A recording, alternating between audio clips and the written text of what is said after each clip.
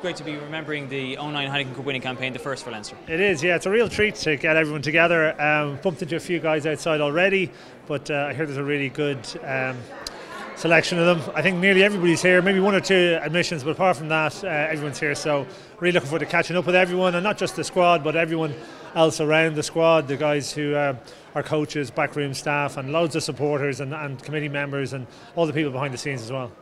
Uh, there was so many kind of moments in that campaign between like the Quins game by itself was kind of you know an amazing game, but then you had Bloodgate into it, Munster and Croker and everything in the final. Is there any kind of one moment that stands out to you, either on or off the pitch, from that, that campaign? Just the final moment, really, because it had been such a, um, a build up to that. And as you said, there was loads of moments, and even in the group uh, stages, we had our ups and downs as well.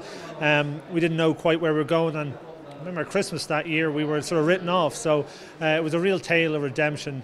And although we, you know, we were pretty confident, um, especially after Christmas, I don't think any of us quite believed in it or believed that we'd we'd uh, have we'd win a Heineken Cup until we actually did. And those moments directly afterwards, they're the ones that are kind of most special and I remember most it must be amazing to see the, the success of 09 and how that kind of has catapulted Leinster and the success that's kind of followed over the last 10 years and three more European Cups and Celtic League titles. Yeah, and just uh, another one just a couple of days ago, which is uh, really handy for us. It means we can celebrate and people are happy as well.